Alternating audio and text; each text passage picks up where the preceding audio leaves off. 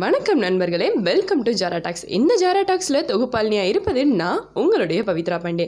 ஆக்சுவலாக organic spices அப்படிங்கிற Instagram பேஜில் இருந்து எனக்கு இந்த மிளகு கொடுத்துருக்காங்க. இந்த மிளகை வச்சு எங்கள் சிவகங்கை சீமையின் பெப்பர் சிக்கன் தான் நான் இன்னைக்கு பண்ண போகிறேன் வீடியோக்குள்ளே போகிறதுக்கு முன்னாடி நம்ம ஜாரா டாக்ஸ் சப்ஸ்கிரைப் பண்ணாதவங்க சப்ஸ்கிரைப் பண்ணிடுங்க கூடவே அந்த பெல் ஐக்கானே கிளிக் பண்ணிடுங்க அப்போ தான் நாங்கள் போடுற வீடியோஸ் எல்லாம் உடனுக்குடனே உங்கள் நோட்டிஃபிகேஷனில் வரும்.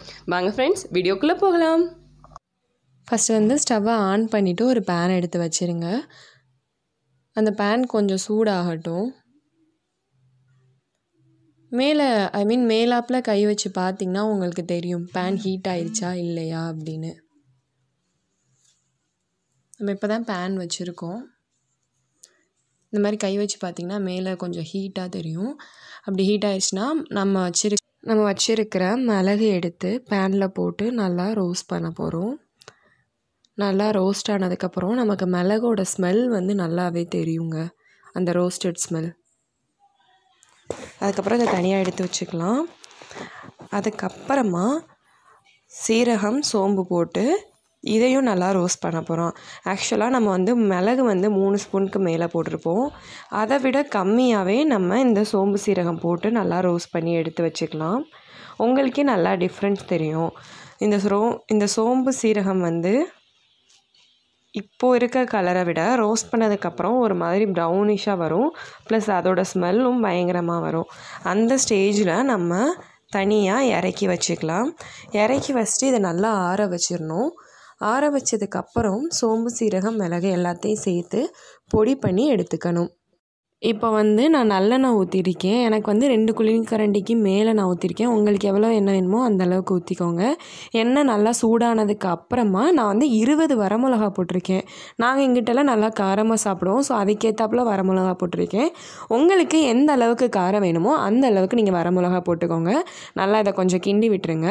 அதுக்கப்புறமா நான் வந்து பெரிய வெங்காயம் நறுக்கி வச்சுருக்கேன். அந்த பெரிய வெங்காயத்தை ஆட் பண்ணிடுறேன். வெங்காயத்தை ஆட் பண்ணதுக்கு அப்புறமா நல்லா வதக்கி விடணும். வெங்காயம் வெங்காயம் கலரும் நல்லா மாறணும். அந்த மாதிரி நீங்கள் நல்லா வதக்கி விட்டுக்கோங்க. உங்களுக்கு பார்த்தாலே தெரியுங்க எப்படி வெங்காயம் வதங்கினதுக்கப்புறம் அதோட கலரே மாறி இருக்கும். இந்த மாதிரி வந்துருச்சு. இதுக்கப்புறமா நான் வந்து ரெண்டு தக்காளி ஆட் பண்ணியிருக்கேன். அந்த ரெண்டு தக்காளியும் இதில் போட்டு நல்லா வதக்கி விட போகிறேன் இது நல்லா வதங்கினதுக்கப்புறமா இஞ்சி பூண்டு விழுத போட்டு அதையும் நல்லா வதக்கி விட போகிறேன் நல்லா வதங்கிருச்சு. இப்போ எல்லாமே மிக்ஸ் ஆகி வதங்கினதுக்கு அப்புறமா நான் வந்து சிக்கன் வச்சுருக்கேன் அந்த சிக்கனை எடுத்து இதில் நான் போட போகிறேன் எல்லா சிக்கனுமே ஆட் பண்ணிட்டேன். மினிமம் இது வந்து ஒன் கேஜிக்கு மேலே தாங்க இருக்கும். அந்த அளவுக்கு நான் சிக்கன் ஆட் பண்ணிட்டேன்.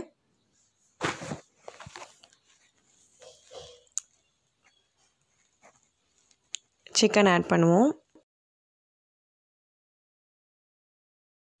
எல்லா சிக்கனுமே ஆட் பண்ணதுக்கு அப்புறமா ஒரு தடவை நல்லா கிண்டி விட்டுக்கோங்க. அந்த வெங்காயம் மிளகா எல்லாமே சாடுற மாதிரி கிண்டி விட்டுக்கோங்க. இப்போ சிக்கனோட எல்லாமே சார்ந்துருக்கு இதை ஒரு டூ செகண்ட்ஸ் அப்படியே வச்சுருப்போம். இப்போது இந்த ஸ்டேஜில் நம்ம என்ன பண்ணணும் அப்படின்னு பார்த்தீங்கன்னா நம்ம வீட்டுக்கு வச்சுருப்போம்ல பொடி. அந்த பொடி அதுக்கப்புறமா மல்லித்தூள் ஆட் பண்ண போகிறோம் இதில் மல்லித்தூளுக்கு அப்புறம் கரம் மசாலா பொடி இதுவுமே எனக்கு ஆர்கானிக் ஸ்பைசஸ்லேருந்து கொடுத்தாங்க. அந்த பொடியையும் நான் இதில் ஆட் பண்ணிக்கிறேன். ஆட் பண்ணிவிட்டு மொதல் பண்ண மாதிரியே நான் இதையும் திருப்பி கிளறி விட போகிறேன் அப்போ தான் எல்லாமே ஒன்றா ஒட்டும். அதுக்காக நான் கிண்டி விட்டுக்கிறேன். நான் வீட்டுக்கு அரைச்சி வச்சுருக்க பொடி அப்படின்னு சொன்னது வந்து எல்லாரோட வீட்லேயுமே குழம்பு பொடின்னு தனியாக அரைச்சி வச்சுருப்பாங்க. அந்த பொடியை தான் நான் ஃபஸ்ட்டு ஃபஸ்ட்டு ஆட் பண்ணியிருக்கேன். இதை நல்லா கிளறி விட்டதுக்கப்புறமா அப்படியே விட்டுருங்க கொஞ்சம் நேரம். நம்ம தண்ணியே ஊற்ற வேணாம். இப்போது நம்ம செஞ்சோம்ல அந்த மிளகு சீரகம் சோம்பு அந்த பொடியை எடுத்து இப்போது நான் வச்சுருக்க சிக்கனில் போடுறேன். திரும்பி அதையும் சேமாக நான் கிண்டி விட்டுக்கிறேன். நல்லா கிளறி கறியோட மிக்ஸ் ஆகிற மாதிரி வச்சுக்கிறேன். இப்போ இந்த ஸ்டேஜில் உப்பு போடுறேன். நான் வந்து ஒரு கைப்படி உப்பு போட்டிருக்கேன். கல் உப்பு தான் போட்டிருக்கேன். நீங்கள் எந்த உப்பு வச்சுருக்கீங்களோ அந்த உப்பை உங்களோட சிக்கன் அளவுக்கு ஏற்றாப்புல போடுங்க. இப்போ நம்ம தண்ணியே ஊற்றலை ஆனால் இது நல்லா தண்ணி விட்டு வந்துருச்சு. இதுக்கப்புறம் இதை நம்ம மூடி ஒரு ஃபைவ் செகண்ட்ஸ் கிட்டன்ஸில் மூடி வச்சிடலாம் நல்லா மூடி விட்டு வந்துடும் இந்த சிக்கனில் தண்ணி ஊற்றாமே அதுவே தண்ணி விட்டு வந்துடும் அந்த தண்ணியிலேயே சிக்கன் நல்லா வேகட்டும். நல்லா வெந்ததுக்கப்புறம் சுண்டுற மாதிரி வரும். நீங்கள் திருப்பியும் மூடியே வச்சுருங்க. ஆல்ரெடி ஒரு ஃபைவ் மினிட்ஸ் வச்சிட்டோம். இப்போ திருப்பி ஒரு ஃபைவ் மினிட்ஸ் வச்சுட்டு இப்போ சிக்கன் எடுத்து பார்த்தோம். இப்போ உங்களுக்கு தெரிஞ்சிருக்கும் இப்போது சாப்பிட்லாம்.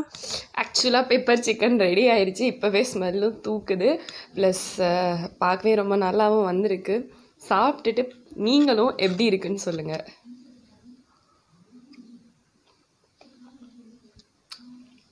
நானே சமைச்சு நானே சாப்பிட்றது ஒரு சுகமாக தான் இருக்குது நீங்களும் இந்த வீட்டில் ட்ரை பண்ணி பாருங்கள் உங்களோட டேஸ்ட் எப்படி வந்திருக்குன்னு மறக்காமல் நம்ம கமெண்ட் பாக்ஸில் தெரிவிங்க. அண்ட் அது மட்டும் இல்லாமல் நம்ம வீடியோவை லைக் பண்ணுங்கள் ஷேர் பண்ணுங்கள் அண்ட் நம்மளுடைய ஜாரா டாக்ஸை சப்ஸ்கிரைப் பண்ணிடுங்க பாய்